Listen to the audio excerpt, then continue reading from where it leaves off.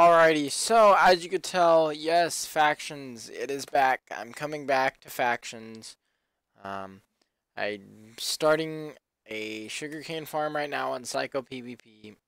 getting started so that way we could start out with the head hunting, get enough money to get our pig spawner, get our head hunting up, and uh, it's gonna be a great series, and we're gonna have a great time.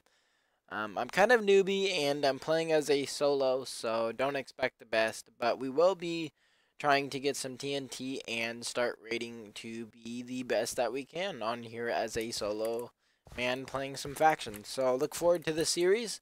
Episode 1 will be coming out here soon, and uh, yeah, just thought I would let you guys know that Factions is back, and I'm back to uploading Factions again.